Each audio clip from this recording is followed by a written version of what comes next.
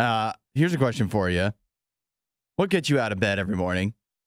And when I say that, I don't mean what motivates you in life in general. I mean, what's the first thing that you think about when you're lying in bed? You're like, well, if I get out of bed, at least I'll get this. Mm, good question. I would say I look forward to my breakfast Okay. that I eat in the morning. And so when I'm laying in bed, not usually when I'm laying in bed, but by the time I get in the shower, Mm-hmm. it's something that I look forward to. So it's food for Mainly you. food, yeah. You don't look forward to the shower part?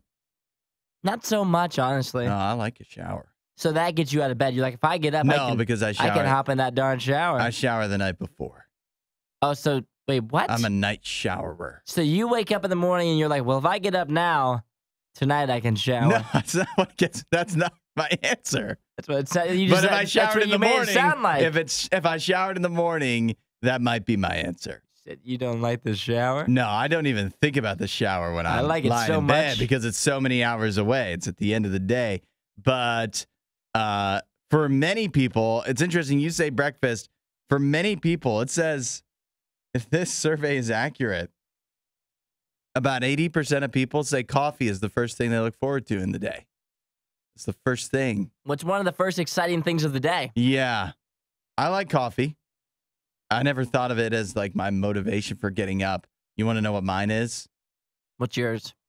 And I think this just about every morning when I'm lying in bed and my alarm goes off. I think to myself, at least I can have a nap this afternoon. I think about that too. That's what gets me going. I thought about that this morning. yeah. You're like, I, wa- I wish I could lie here and keep sleeping, but at least I can get a nap this afternoon. I can nap later. and then I roll up out of bed and get started on the day. After that, what do I look forward to? I don't know. That nap just keeps me going for a long time. yeah, mine's definitely food throughout the morning. Like my breakfast is always exciting. Mm-hmm.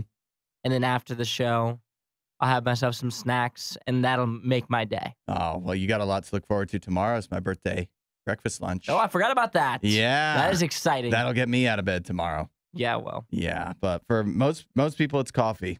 Uh, I love coffee. You'd think I, it would be the answer for me, but no, it's a nap. Wasn't that a great Riot clip?